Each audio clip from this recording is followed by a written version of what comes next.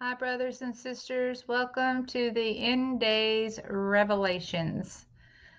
The controversial clinic experts to develop 30,000 lab grown babies yearly. The developer expects technology will be around the world within the next 10 to 15 years. I'm going to put something in on that. I read another web page um, about the world's first artificial womb facility, and they said they will be starting human trials in three years. So this they'll be pushing these babies out within three years. It's not 10 to 15. Parents would be able to watch growth and development of their child in a see through womb while monitoring health via the app. So they're going to have an app on the phone. The concept is the brainchild of Berlin based Hashem Al Ghaili. He says the facilities would allow infertile couples to conceive a baby and become the true biological parents of their own offspring. A so called elite package would allow you to genetically engineer the embryo before implanting it into the artificial womb. Everything from eye color, hair color, strength, height, and intelligence can be chosen, and all inherited genetic diseases can be avoided. Introducing Ectolife, the world's first artificial womb facility, which is powered entirely by renewable energy.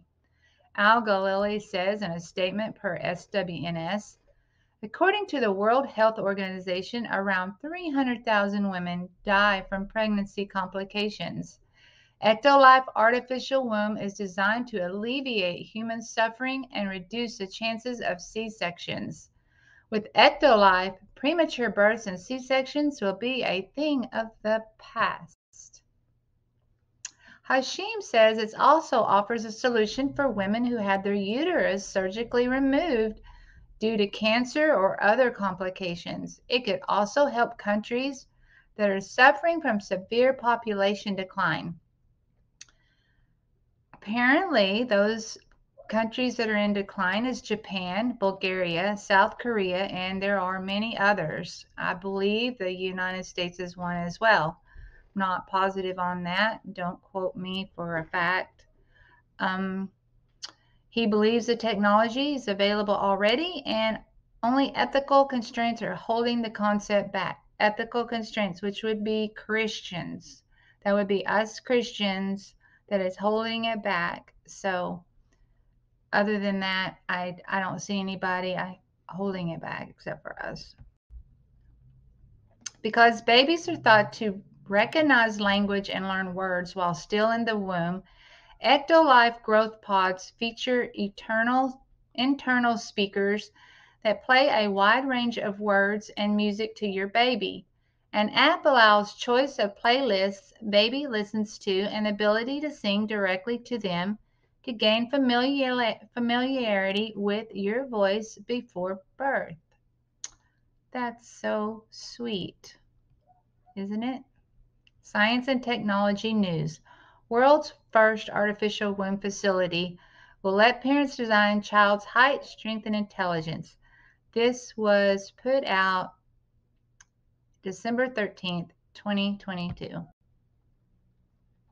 The pods are equipped with a screen that displays real-time data on the development process of the baby. The data can also be viewed via a phone app. Just pull your phone up and there it is. There's your phone app.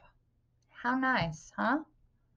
So um, they said that babies in these pods can recognize language and learn words while still in their growth pods. And they feature internal speakers that play a wide range of words to your baby. An app allows choice of playlists that the baby listens to and the ability coming directly to them to gain familiar, familiarity with your voice before birth. I'm sorry for laughing. It's it's definitely revelations. We're here. We're here. We're here. Pod for lab grown babies at Ectolife facility gives will give the credit to Ectolife SWNS. Ectolife allows your baby to develop in an infection free environment. The pods are made of materials that prevent germs from sticking to their surfaces. Every growth pod features sensors that can monitor your baby's vital signs, including heartbeat, temperature, blood pressure, breathing rate, oxygen saturation. This Al-Ghaili says the artificial intelligence based system also monitors the physical features of your baby and reports any potential genetic abnormalities. So, what do you think they're going to do with those babies that have an abnormality? They're babies. I mean, I can't imagine what they would do with them. What are they going to do? Serve them up for dinner? They're already on a menu. No pun intended. Every single feature mentioned in the concept is 100% science based and has already been achieved by scientists and engineers. Get that? It's already been achieved. So, one report says it'll be 10 to 15 years, another report says it'll be three to five years, and now they're saying it's already been achieved. The only thing left is building a prototype by combining all the features into a single device, he says. Hmm. A chimera. Sounds like a chimera to me. In terms of time frame, it's really depends on the ethical guidelines. Right now, research on human embryos is not allowed beyond 14 days. After 14 days, embryos must be destroyed due to ethical concerns. If these ethical restrictions are relaxed, I give it 10 to 15 years before we, ectolife, becomes widely used everywhere. Add to that five years of public awareness and education to help people become more receptive to the technology. No, they want to propaganda us, and that's what they have been doing all of our lives. They want to bypass our conscience directly into our subconscious, and that's how they do it. We all know how it's done.